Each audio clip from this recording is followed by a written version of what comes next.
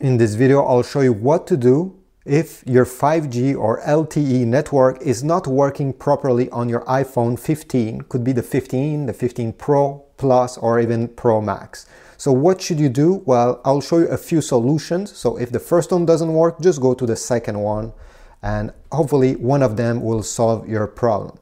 So first, the easiest thing what you can do is to force restart your iPhone. This won't delete anything, no apps will be deleted, no pictures, nothing. It will just restart your phone, but will force your iPhone to do so. So to do this, make sure your iPhone is turned on, then press once the volume up button, then once the volume down button, and keep press the power button. Keep it pressed even if you see this appearing on the screen, until the screen is completely shut down. Wait, okay, it shut down, I can release the power button the iPhone will reset. So you're gonna see the Apple logo here and in about 30, 40 seconds, you'll be able to use it again. Hopefully, after doing this, it will solve, it will solve your problem and you'll have access to your 5G and LTE network. If this didn't work, don't worry, I have a second solution and even more than second solution, I have more solutions. So what you need to do is to activate airplane mode. So drag down from the top right corner and here is airplane mode, the small airplane, tap on it. It will turn to orange, it means that it's activated. And now you're gonna take your SIM eject tool that came in the box with your iPhone. If you forgot where you put it, no problem, take a paper clip or a needle and eject the SIM card.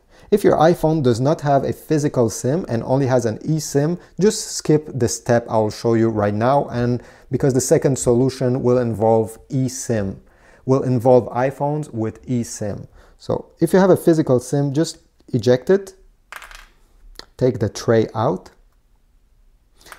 Okay, whoops, don't lose everything. Okay, so this is the slot and we need to clean it because sometimes there is lint or dust that gets accumulated inside and this can make your phone not connect properly to your network. So how to do this? Easy. Just blow in this small um, slot over here while the phone is staying down. So keep it like this, put your mouth over here and blow in this. If you have a small hand pump blower or something like that, go ahead and do it, but make sure that your iPhone is pointing downwards. Another thing you can do is to tap it well because sometimes, again, dust or bigger debris get stuck inside. Okay, so do this for about 30 seconds. And then before putting your SIM card back inside, okay, take a microfiber like this one, make sure it's clean, and you're gonna put it inside of my, the microfiber, and then you're gonna rub it okay because again sometimes dust gets stuck on the sim card itself and this makes it not work properly. So rub it rub it rub it both sides okay? And then take it out of there put it on the sim card tray align it like this. Make sure it stays flush because if it's not installed properly you can get this error again and again, and then insert it on your phone. Okay, now make sure you remove airplane mode and wait about two, three minutes and hopefully you'll get your 5G or LTE network working back. If you have a eSIM card instead, you just need to go into the settings, whoops, go into the settings and then tap cellular and tap delete eSIM. Should be a button over here. I don't have one, but if you have one, you're gonna see it here, delete it, and then press add eSIM and do the setup again, because sometimes just removing the eSIM and putting it back can solve this issue. Now, if nothing worked, no problem, I have more solutions for you. Go into the settings, tap cellular, tap over here cellular data options and make sure data roaming is turned on. Obviously, this can come with an additional cost, but sometimes for some carrier, I know it's weird, but you must absolutely have data roaming turned on. Although you're not in data roaming, you're still in your local area to make your iPhone work on 5G or LTE.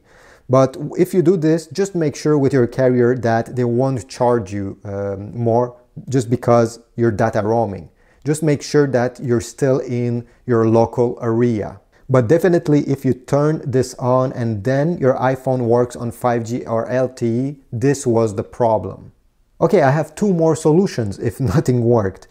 The, the next solution is to go into the settings again. This is the normal settings menu. Go into general like this.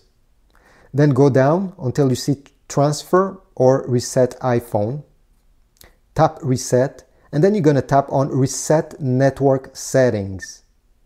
This will not delete anything. It won't erase your pictures or your Netflix account. It won't do anything like that. It will just reset everything that is network. So your 5G network and also your Wi-Fi network. That's all that will be deleted and you'll have to do it again to uh, connect. So just press reset network settings, wait a few minutes and then it will try to reconnect to your 5G network and hopefully it will work. Okay, the last thing you can try before giving up, I'm joking, don't give up, is to go back into the main menu like this. Go into general, date and time, and make sure that set automatically is turned on, it's green. Because sometimes when you set it manually, it happened uh, with my Android phones, but also with iPhones, I read that it happens. If you uh, set it manually and it's not the same date and time as your network date and time, the 5G won't work properly. So make sure it's set automatically. Make sure the time zone is correct, the correct one. And then after doing this, reset your iPhone the same way I showed you, button um, volume up, down, and then keep the power button. And when your phone will wake up, hopefully it will work. Now, if any of these uh, solutions didn't work, maybe your SIM card is defective. And the only way you can know if it's defective or not is to take it out from your iPhone and try put it in another phone. So try maybe a family member or a friend that has a phone and ask nicely just to take your SIM card and try it in their phone. If your SIM card works on another phone and not on your iPhone, well, it could mean that it's damaged or there's something wrong with it. Also, at the same time, ask your friend or family member to put their SIM card into your iPhone. And if the 5G network or LTE network is working for them, well, again, this is another sign that maybe your uh, SIM card is defective. So you can go to your phone carrier and ask for a new one.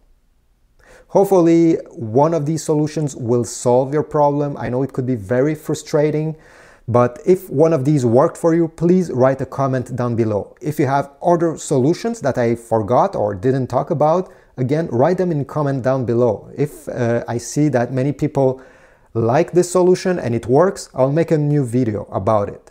So thanks for watching, subscribe, and I'll see you in the next video.